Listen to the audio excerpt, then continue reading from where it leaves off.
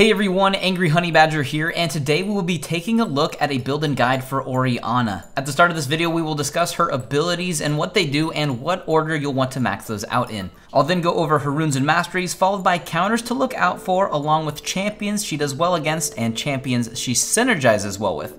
Finally, we'll look at items you'll want to consider purchasing while playing Orianna, and we'll look at her pros and cons too. Be sure to like and subscribe if you find this video helpful, but for now, let's dive in and look at the Lady of Clockwork and what makes her tick. Go around the badger.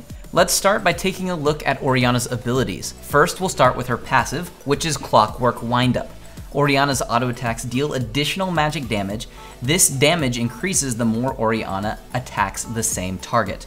Next is her Q ability, Command Attack. We'll typically max this out first. Orianna commands her ball to fire towards a target location, dealing magic damage to targets along the way. Her ball remains at the target's location after it's cast. Maxing out your Q first will help you in lane, moving your ball around more often and also dealing significant damage to minions and your enemy.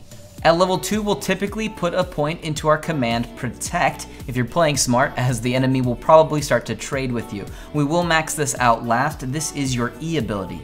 Orianna commands her ball to attach to an allied champion, shielding them and dealing magic damage to any enemies it passes through on the way. Additionally, the ball grants additional armor and magic resist to the champion it's attached to. And at level 3, we'll put a point into our W, which is our command Dissonance. We will be maxing this out second.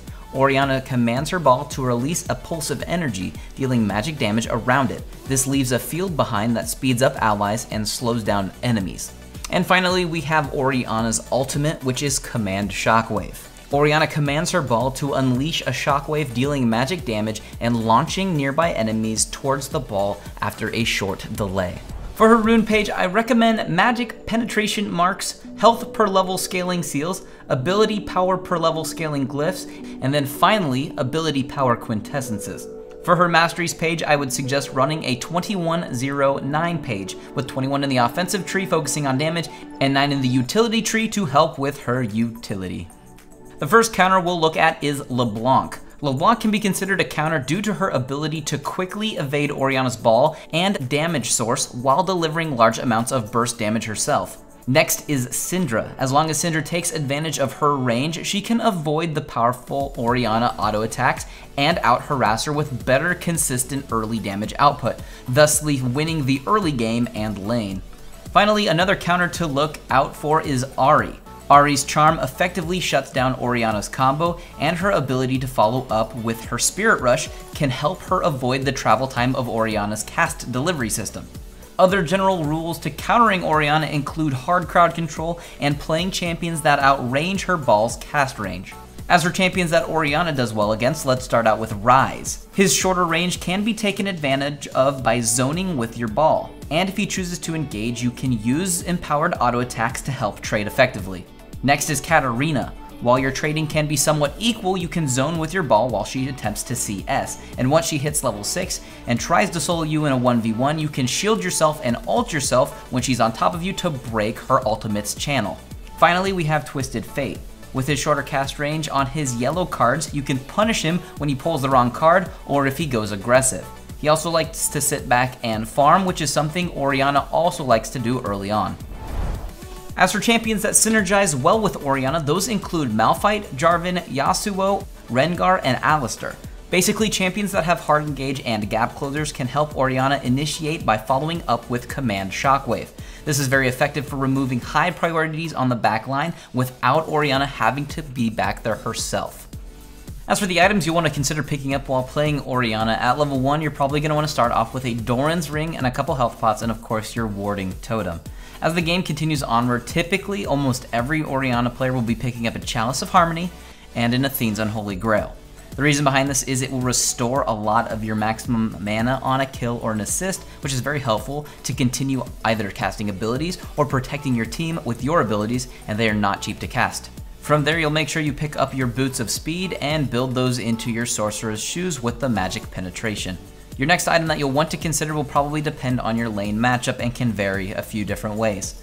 You'd pick up a Death Cap to help contribute to maximum amounts of damage, or if you're going up against a lane matchup that might be AD and a Stasis would be helpful, Zhonya's Hourglass can be the next item you would choose.